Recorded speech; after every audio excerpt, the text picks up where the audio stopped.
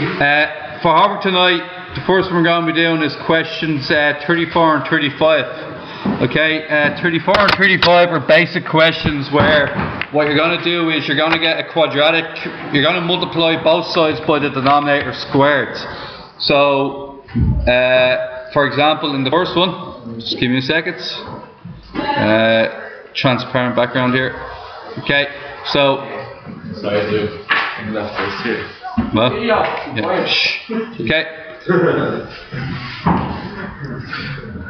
Okay, guys. Uh, this one here, you're going to multiply the both sides by x minus 5 squared.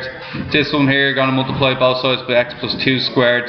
At the end, you're going to get an inequality, which is which is usually a quadratic, either less than 0 or greater than 0. You draw your U-shaped graph, and you figure out if it's less than 0, the answer lies between the two points.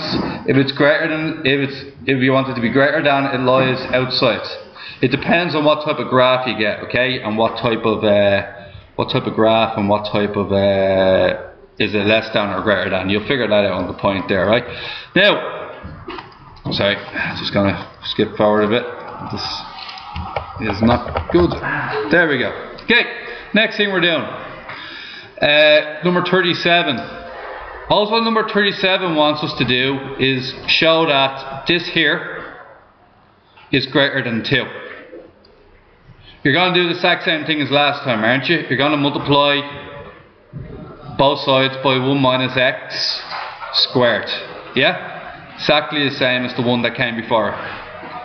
Alright. Now we're coming on to number... Uh, what we'll do this time is we'll come on to number 38.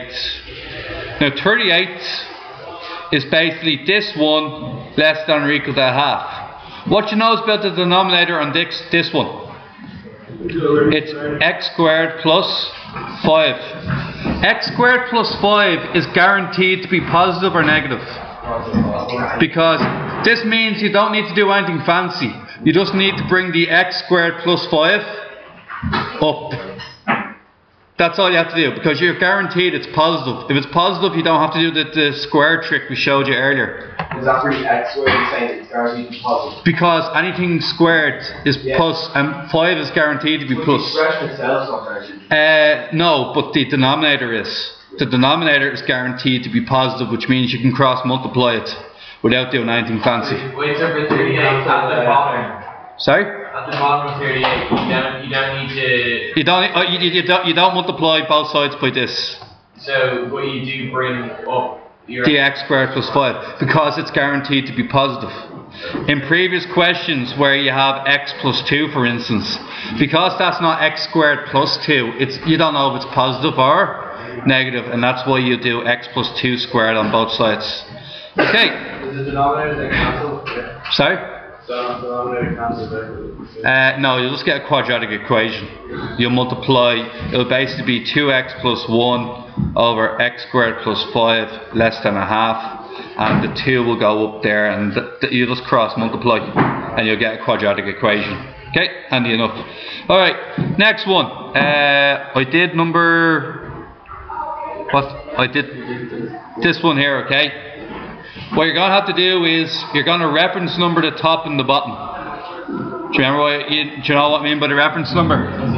You're going to factorize the top and the bottom. When you factorize the top and the bottom, it will turn into something that looks like this. And what you're going to do is, whatever this answer is, for part 2 it's going to be less than 2. And then you're going to do exactly the same question you did for 34, 35 and 36. You're basically just going to factorize them and two of them will cancel off guaranteed. Okay, so look, I'll even just indulge you here myself. x plus 1, x plus 3 on top. On the bottom it's going to turn into x plus 1, x plus 1. You can see the two x plus 1s cancel and your answer is x plus 3 over x plus 1. Right, so that's handy enough. Alright guys, next question down here is, uh, just scroll down. Okay. Uh, we'll give you his number 42. Okay? So what questions do we have thus far? 34, 39, 37, 38, 42. 30, what's it, 37, 38, and? I didn't give you 39, did I? Uh, 39. Okay, it's more or less. Alright, guys. Uh, shh, I did 41 in class. I'm going to give you 42 now. Find the ranges which satisfy both inequalities. So, what I have to do with both inequalities is I have to figure out, I have to multiply them out, and I have to solve this one. Now this one's going to have two answers. Okay, so let's say for instance I had I got an answer like this. Okay, let's say I got an answer like uh, two minus two is smaller than x, x is smaller than three. And let's say for the first one I got an answer of x has to be bigger than one. What are what is the only answer that works for both sets? Three. Anything in between one and Two. three. Okay? So, do you understand it, right? If the answer to the first equation, okay, I'll let, if the answer to the first equation is x is bigger than 1, but the answer to the second equation is minus 2 is smaller than x is minus 3. What this means is, because x has to be bigger than 1, that eliminates out minus 2, minus 1, 0 and 1. And the only answer that's going to be left is 2. X will equal, the only answer you can use is 2 because it has to be a number that's smaller than 3. So you could say the answer would be x is greater than 1 and x is smaller than 3. Somewhere in between the two of them. That's what it means by merging your two sets of answers together.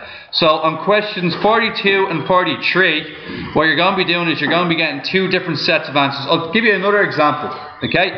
If I got this answer here, and on another answer I got this one here.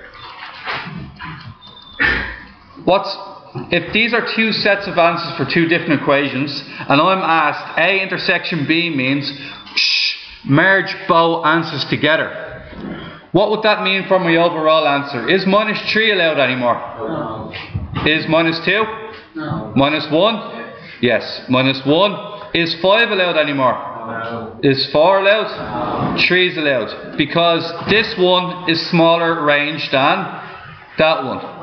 Okay, and lads, uh, I'll stop it there, okay? So that'll be 43 and 42. So what's our questions again? 38, oh sorry, 38. Okay, that's our homework for tonight. No problem.